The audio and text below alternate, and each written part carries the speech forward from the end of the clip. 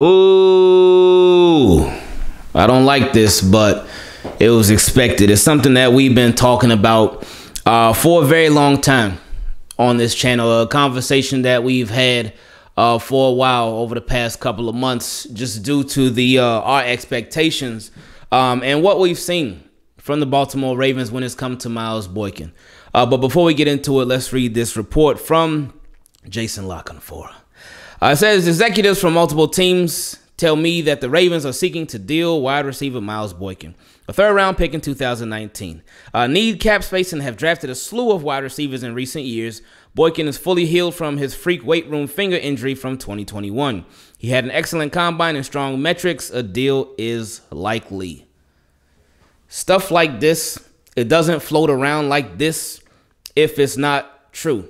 Now, um, what I would expect to happen uh, is that the Ravens they probably deal Miles Boykin for like uh, probably like a fifth or sixth round pick, um, and if they can't get a deal for him, then they're gonna unfortunately release him. Uh, and this is uh, it sucks because it's it's something that you saw coming I, I honestly I remember last year, last off season, I thought it was gonna happen because you know he had the hamstring injury, wasn't practicing, and well, obviously wasn't playing.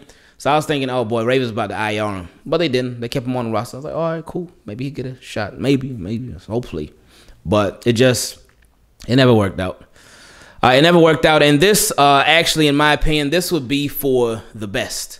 This would be for the best for both sides because Ravens they're not gonna use Miles Boykin. He's, he's not going to get used.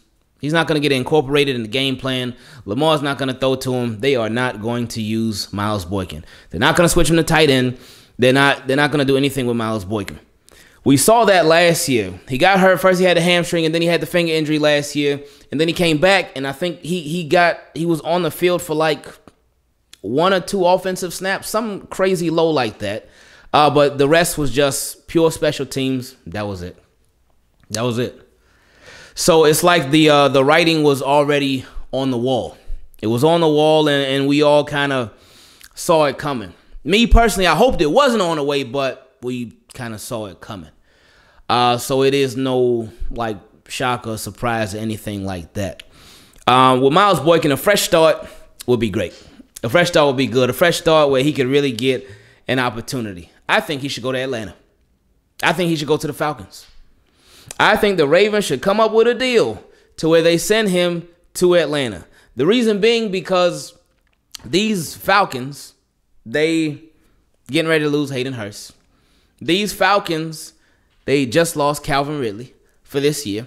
Uh, these Falcons, they obviously didn't have Julio Jones all this year. They traded him away. But why not? Why not? What is the worst that could happen if you bring on a Miles Boykin. Big body receiver, you passing team, you're going to get him the ball. Why not?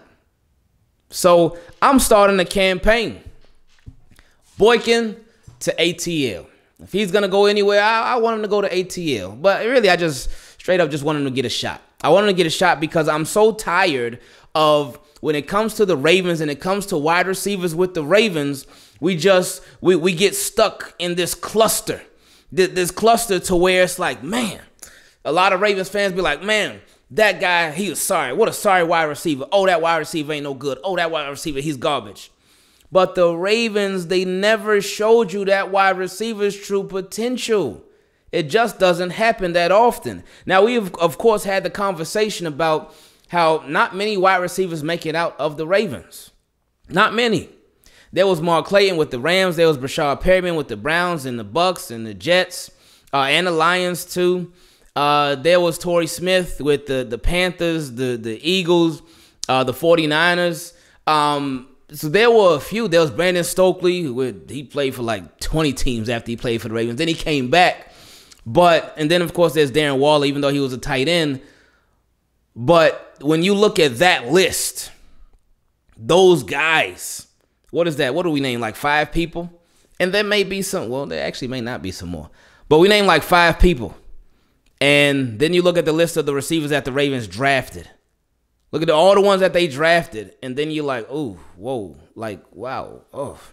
Like, did we really miss that bad? Or was it a lack of development? Was it a lack of playing time? What was the problem? What was the issue? So I just hope, like I said, I hope he gets a chance. I hope he gets an opportunity uh, elsewhere to where he can really show his stuff. We look at Pittsburgh. You look at Chase Claypool. Can he play? Oh yeah. Oh yeah, yeah, yeah. He used to be number two to Miles Boykin. He used to be the number two to Miles Boykin. And it's like, but but really? He used to be number two to Boy. Oh, but Boykin on the Ravens. Oh, whoa, what happened? What changed? What's different? So, again, no surprise. I, I, hope the best for Boykin. Shout out to Boykin. Y'all, y'all know that's my guy. Y'all know I'll be rocking with Boykin, man. I'm rocking with Boykin and, and hoping that he goes somewhere and he does this thing and gets some real opportunity, real chance. But so hopefully that's whether it's the Falcons or wherever else it ends up happening, he gonna get his opportunity. He gonna get picked up for sure, for sure. Um, just where it is, we'll see in a matter of time. Love y'all, appreciate y'all. Uh, just like Miles Boykin is gonna be sooner, yeah, very soon, because the new league year starts on Monday. Well, yeah, it don't start on Monday technically, but it starts on Monday. But just like Miles Boykin is gonna be pretty soon, we out.